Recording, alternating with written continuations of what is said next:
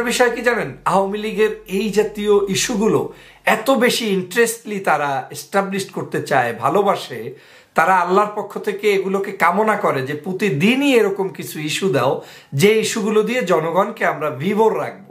মানে ঘুমিয়ে রাখবে আপনাকে। আপনি আরাম আয়েসে থাকবেন, আপনি ঘুমাবেন, আপনি ওদেরকে নিয়ে কথা বলবেন না। ওরা কি গোপন চুক্তি করল, কি করল না, সে নিয়ে জনগণ যাতে কথা বলতে না পারে, সেজন্য ইস্যুর পরে ইস্যু আসবে, কিন্তু আসল ইস্যু জনগণের সামনে প্রকাশিত। দেশের অর্থনীতি অনেক খারাপ, ভয়াবহ অবস্থা। এর মাঝখানে একের পর এক ভাইরাল ট্রফিক নিয়ে আমরা পড়ে আছি।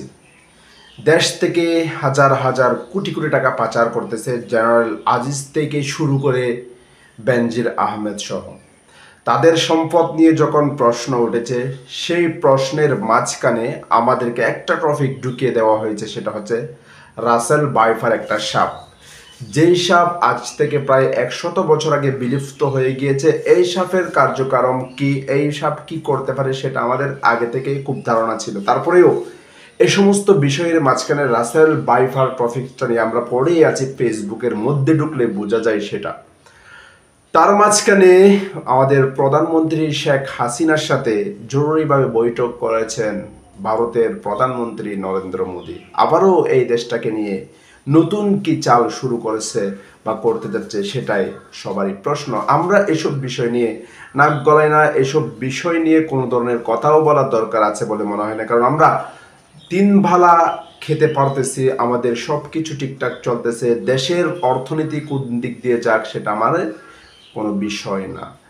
দর্শক আপনাদের একটা ভিডিও দেখাবো, ডক্টর ফয়জুল হক। এই সমস্ত বিষয় নিয়ে সুন্দর একটা ভিডিও আপনাদের জন্য উপহার দিয়েছেন। এই ভিডিওটা আপনাদের সবারই দেখা দরকার বলে আমি মনে করি। খুবই গুরুত্বপূর্ণ কিছু কথা ডক্টর ফয়জুল হক স্যার আপনাদের মাঝখানে তুলে ধরার চেষ্টা করেছেন। দর্শক ভিডিওতে যাওয়ার আগে ছোট একটা রিকোয়েস্ট আপনি যদি আমাদের এই চ্যানেলে নতুন হয়ে থাকেন চ্যানেলটি সাবস্ক্রাইব করে রাখবেন। আর যারা অলরেডি সাবস্ক্রাইব করে ফেলেছেন, তাদেরকে ধন্যবাদ জানাচ্ছি। চলুন আমরা আগে ডক্টর ফয়জুল হক স্যারের সেই ভিডিওটি একটু দেখে আসি। সাপ আর ছাগল কাণ্ড নিয়ে বসে আছে। সমগ্র বাংলাদেশের পত্র, পত্রিকা নিউজ পোর্টাল অনলাইন অফলাইন যেখানেই যাবেন, সাপ আর ছাগল কাণ্ড। এবং এই সাপ আর ছাগল কাণ্ডের মধ্যে বাংলাদেশের মানুষকে নিমজ্জিত রেখে শেখ হাসিনা এবং মোদিজির যে গভীরতম পরিকল্পনা চলছে, সে নিয়ে বাংলাদেশের জনগণের কোনো হুশ নেই। আমি, আপনি, আপনারা ব্যস্ত ছাগল এবং সাপ নিয়ে। মজার বিষয় কি জানেন? আওয়ামী লীগের এই জাতীয় ইস্যুগুলো এত বেশি ইন্টারেস্টলি তারা এস্টাবলিশ করতে চায়, ভালোবাসে তারা আল্লাহর পক্ষ থেকে এগুলোকে কামনা করে যে প্রতিদিনই এরকম কিছু ইস্যু দাও, যে ইস্যুগুলো দিয়ে জনগণকে আমরা বিভোর রাখব। মানে ঘুমিয়ে রাখবে আপনাকে। আপনি আরাম আয়েসে থাকবেন, আপনি ঘুমাবেন, আপনি ওদেরকে নিয়ে কথা বলবেন না।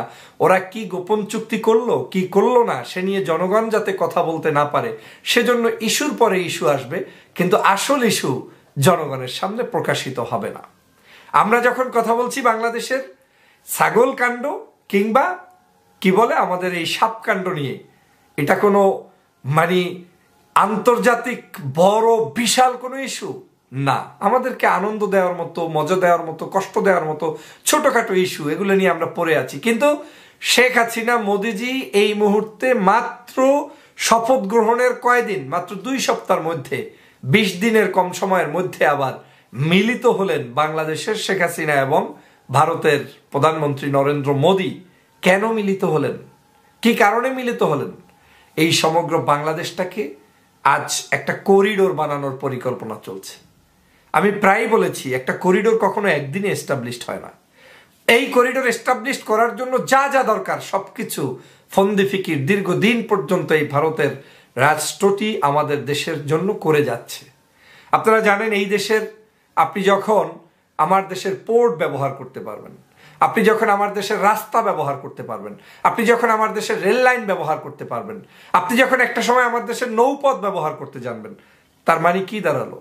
বিমান, নৌ, রেল, রাস্তা, ট্রেন দ্যাট মিনস আপনি আমার রাষ্ট্রের মধ্য থেকে প্রতিনিয়ত আপনি আপনার সংস্কৃতি, আপনি আপনার ব্যবসা বাণিজ্য, আপনি আপনার লোকজন, আপনি আপনার কর্ম পরিকল্পনা আপনি আপনার রাজনীতি, সমাজনীতি সব নিয়ন্ত্রণ করতে, পরিবহন করতে পারছেন উইথ পারমিশন আজ সেটাই চলছে। কয়েকদিনের মধ্যে দেখবেন বাংলাদেশের রেল লাইন নির্মাণ হচ্ছে ভারতের স্বার্থে। ভারত তার পরিকল্পনার অংশ হিসাবে এই রেল লাইনে তার নিজের স্বার্থেই সবকিছু করবে। আর আপনাকে কি ঘোষণা দিবে? ই ভিসার প্যাকেজ ঘোষণা দিবে। আপনাকে ওই দেশে একটু অবাধে ঢুকতে বের হওয়ার সুযোগ করে দিবে। রাজনীতিবিদদেরকে একটু স্পেশাল দাওয়াত দিয়ে মাথার মগজ ধোলাই করে আপনাকে একটু ভালো খাবার দিয়ে, ভালো পয়সা দিয়ে সস্তায় দালাল নিয়োগ করে আপনাকে আবার দেশে পাঠাবে। দেখেছেন তো, এই দেশে যখন সেই মঈন ফখরুদ্দিনদের এক এগারো এসেছে কাদের পরিকল্পনা এসেছে? এই মঈনকে ঘোরা উপহার কোন রাষ্ট্রটি তখন দিয়েছিল? একবার রিয়ালাইজ করেন, কি এমন প্রয়োজনীয়তার ঘোরা উপহার সেই মঈন পায়? এর কারণটা কি? এর কারণ হচ্ছে, এই যে মগজ ধোলাই করে পাঠিয়েছে, সেই মগজ ধোলাইতে আজ পর্যন্ত, চব্বিশ সাল পর্যন্ত দু হাজার সেই সাতের পর, আজ পর্যন্ত এই চব্বিশ সাল পর্যন্ত ক্ষমতায় তাদেরই সরকার। অতএব এই দেশকে একটি ধূম্রজালের মধ্যে নিমজ্জিত রেখে প্রতিনিয়ত এই সরকার এবং পার্শ্ববর্তী দেশটি, তারা তাদের কার্যক্রম অব্যাহত রাখছে।